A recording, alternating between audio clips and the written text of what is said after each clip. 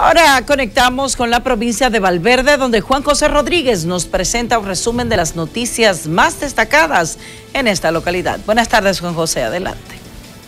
Saludos, ¿qué tal? Buenas tardes, Josefina Capellán. Adelante, corazón.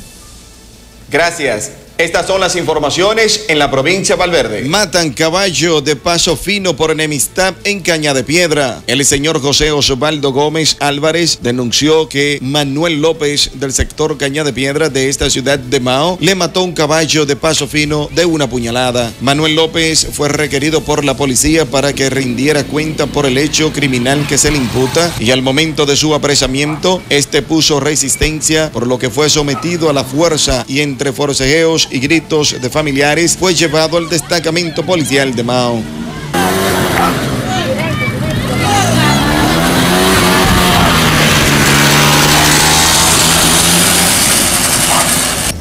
años de cárcel. ¿Qué es lo que pasó, amor?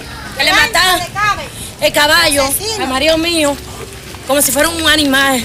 Un animal, pero tenía 27 años y le clavó un colín como sin tener piedad ni nada. Este se mata una gente. Continúan las filas y la desesperación de nacionales haitianos que esperan completar sus expedientes para regularizar su estado migratorio en el país. Desde tempranas horas de la mañana, decenas de haitianos esperan ser atendidos con la esperanza de no tener que traer más documentos. Algunos nacionales haitianos dicen haber invertido unos 20 mil pesos en el proceso y que aún le siguen solicitando papeles, tal como lo expresa este extranjero que dice vivir en Pueblo Nuevo Mao desde hace años. Finalmente fue elegido el presidente del sindicato de minusválido de la provincia de Valverde, el señor Henry Vargas Nitolín. La elección se llevó a cabo con una plancha única y con el consenso de la mayoría de los miembros que estaban presentes en la asamblea. Se estaba celebrando lo que era las elecciones, fuimos para elegir lo que era el coordinador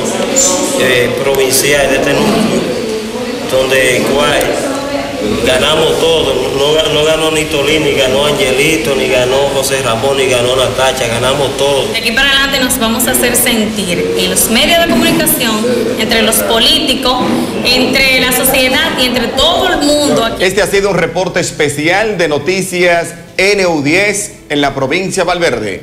Para Red de Noticias NCDN, soy Juan José Rodríguez. Buenas tardes.